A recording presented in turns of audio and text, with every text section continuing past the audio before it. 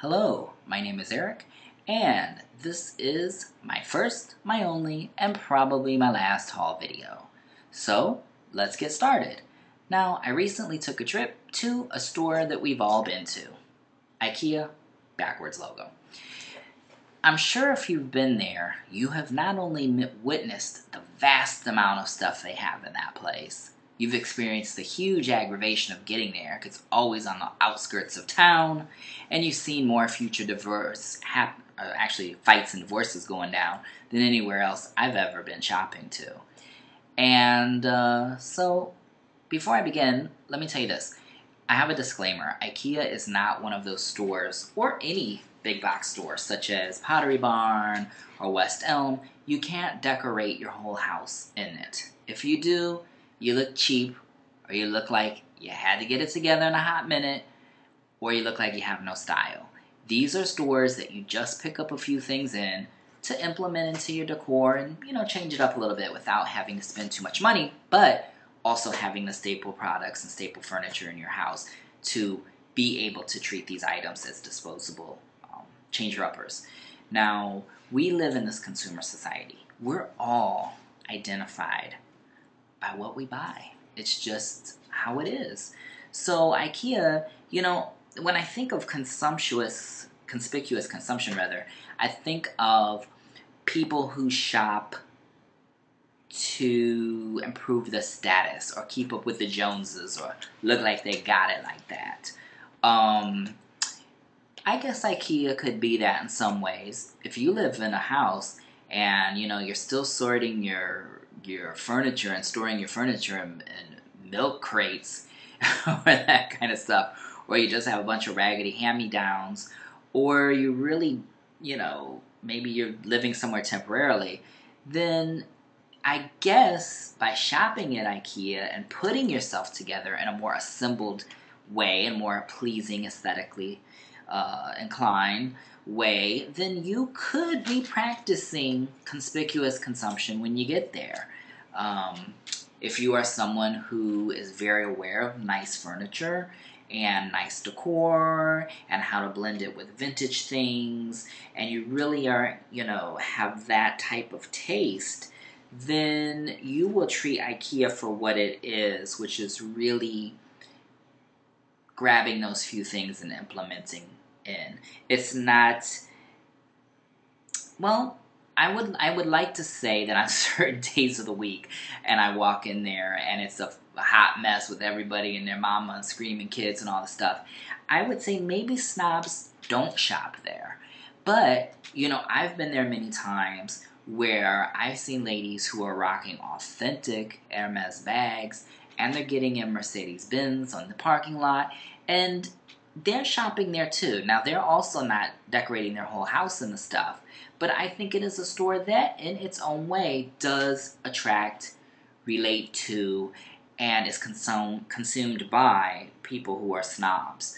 It's also a place where you could go, you know, get your omnivorous uh, extravaganza on. If you are someone who just likes to experience all types of uh, places to shop and you are just into consumption and you consume from all cash you know, cultural categories, not just, you know, high-end boutiques, but you're but you're willing to shop in in IKEA as well. You know, you are an omnivore. So this place could appeal to you as well. I think it draws in people who have no cultural capital and maybe just go there because of the inexpensive price point, or it's people who do have you know, a lot of cultural capital, have been around a lot of different scenes and traveled a lot, and they know they may have this really, you know, fierce set of antique, you know, Dogon culture masks that they know they can get a fierce high gloss shelf there to display them on. Now that is definitely someone, you know, who is aware and has a large amount of cultural capital knows how they can navigate and work their way in between many different many different cultures and many different shopping tendencies and find yourself in a place like IKEA. Other than that, you know, you may have some students that just go there because it's cheap or some some new couples or single moms or whatever. But I advocate it as a place to only pick up those few accessories while you build the nicer things in your house that you save up for from other places. Okay? So let's just get that out of the way. Um, you know, now that I'm thinking about omnivores, there's a lot of reasons why we live in this consum- consumer society that's very fluid. Um, you know, there's a lot of, you know, the art world has changed quite a bit. The um, there's generational politics. There's structural changes and less exclusivity that happens in the world, and you know, I think this kind of store exemplifies that in a lot of ways. All right, so let me get back to what I hauled. Okay, one of the things that I hauled back was this pillow. Now, this pillow, for some, people may think, oh, did I see that on one of the reruns of Golden Girls?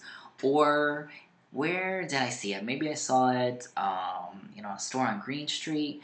This is a a pillow that was very cheap. I think for both the pillow and the case, you can get it around maybe $18. Now, you can if you're something who has high someone who has high cultural capital, you can appreciate the simplicity of this. You may appreciate it as taking you somewhere um, that you visited you know, that has a tropical environment, somewhere in South America that has that kind of, you know, easy fabric yet durable, you know, cushioned couches on verandas and things like that. So this this may take you there. Um, or you may have no clue and just like a tamingo, uh, flamingo. Maybe you live in a trailer park and it reminds you of what your grandma had, you know, in her her trailer next door. But if you're someone who you know has discerning tastes and you know has a high cultural capital point of view, you like that this may relate to a higher brand. Maybe its abstractness, its simplicity of design reminds you of a Jonathan Adler um, type of pillow. Um, so I think items like this really f- identify to both groups. Some people may just buy it as a summer thing to throw on the porch, but you have the case that's made of um, like a canvas muslin. You have some stripes in the back, and you know the graphic when you look at it is really very clean. That's one thing you have to pay attention to when you're shopping um, at IKEA is make sure the graphics are clean, make sure they're crisp, and make sure they make a statement. So to me, I could find this, you know, like in my house, is very like mid-century modern, clean. I will totally like throw this on my Mies van der Rohe um, daybed sofa that I bought at Design Within Reach and call a day and it's fierce. It may have a whole different look if you throw it on some other couch from IKEA or the handed down quilted couch that somebody gave you. It may not be as fierce. But it is one of those items that I think if as you're purveying and you're going through the stores, it was nice, it was chic, it was clean, and in the right environment, it works really well. So this is something that I hauled back for under twenty dollars. I probably will end up taking it to my design studio and throwing it in a chair or something of that nature, but for now, I'll rock it in the house for a little bit. Um, one thing about textiles, when you see textiles at IKEA, you have to get them pretty much right away. Um, a lot of that moves very quickly. It's not like the furniture. The furniture is usually stapled, uh, are staple items. Textiles, curtains, pillowcases, anything like that. They go napkins, whatever. They go really quickly and they move on to the next item. Okay, and speaking of moving on to the next item, and within the textile family, I picked out these curtains. Now, these curtains regularly were about 40 bucks, and I got them for half price. Now, if you look very closely, these are very, um, very mid century modern. Again, I feel if you are someone who is familiar with you know, high, you know, high cultural capital um, environment or state of mind, this is something that you will relate to kind of if you like Marimekko, if you like vintage Vera, this is something that you would pick up and you'd rock it and it would look fabulous. Anywhere else, it might look just like a cheap curtain you've thrown up, but it's all in the decor. You can see, if you look closely, the design. Very cool. Blocked, crisp, modern. These I picked up actually for half price. Um, curtains will usually go on sale when they're introducing the next batch. Um, there's only a couple styles of the IKEA curtains that tend to stay in there for a while. But if um, but most of the fabrics and textiles are pretty much moved in and moved out. So definitely a great haul. As you go through IKEA, it's very easy to get sensory overload. So you want to just make sure that you know the best way to shop there is to just kind of like move all the way through do quick edits, and then go back and then revise a little bit more. Um, but yeah, those those are a great item for for any room. Okay, seems like I'm developing a life. I'm actually by the things that I've chosen. I think that I'm reflecting what my own cultural identity is, which is lifestyling, because I've picked up a lot of things that are clean and they're modern and um, you know, we'll see what you pick up. You may pick up things that are IKEA, even though it's generally known for clean design and minimalism, you will find a lot of country and other kind of things in there too. But I think my my lifestyle, my set of choices is reflect reflecting and conveys something about me that I like clean and modern and and stuff that is easily comparable to high cultural capital tastes. Okay. So, the next thing I picked up was this simple vase. Simple vase was under $10. If you are someone who likes to implement a little bit of color, a little bit of texture through glass, this is a great item. Um, the reason I like it is it reminds me of some of the Kosta Boda that I have. Um, Kosta Boda's high-end uh, glassware. Um, usually very colorful, usually very avant-garde. I have a lot of the little sculptures and vases and things like that in some other rooms in my house. And this very much reminded me of it through its color, its shape, and its very abstractness. Under 10 bucks, you can throw some like uh, what I'll probably put in here because I like the juxtaposition of something very modern abstract against something that's maybe very classical and romantic. I may put in some parrot tulips and uh, stack them high and, and kind of finish it off and give it a certain set of style. Under 10 bucks, can't beat it. And if you break it, who gives a shit? Okay, so the next thing that I have, actually the last thing I have in my haul, is a little basic vase.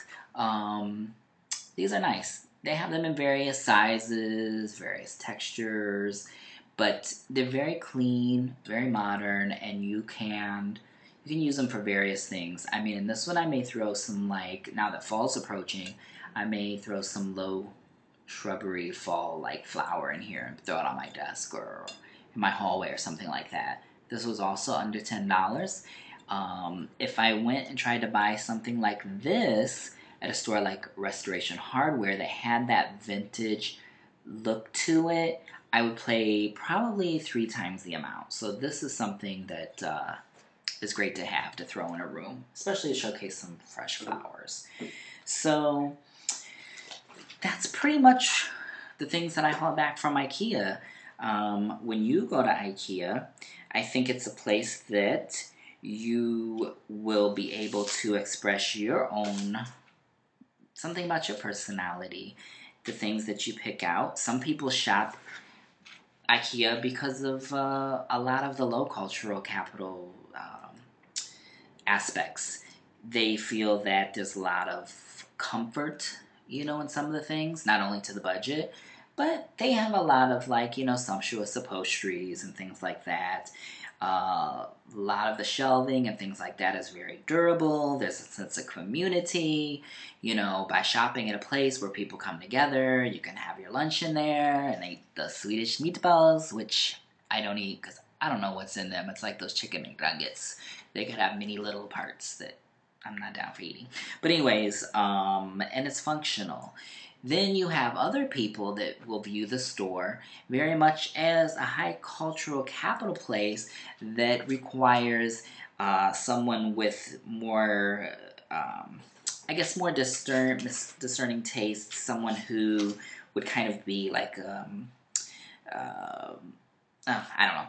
But it's one of those places where you may find some of the stuff to be aesthetically pleasing, like the clean line frames that they sometimes have, or you will feel that, you know, the sense of connoisseurship when you go through it and you're actually comparing it to things that are more highbrow that you can implement into your, um, you know, into your environment. So I think that when you do that, that's definitely an aspect of embodied cultural capital. You're knowing how to use something in the correct way when you go into that store. Um, so that's pretty much all I have to say about my haul video. Um, if you would like to give me any feedback, you can feel free to uh, leave a message. Uh, if there's anything that you think that I could have included, please let me know. And for now, that's my haul video. Bye-bye. IKEA, Red Hook, Brooklyn.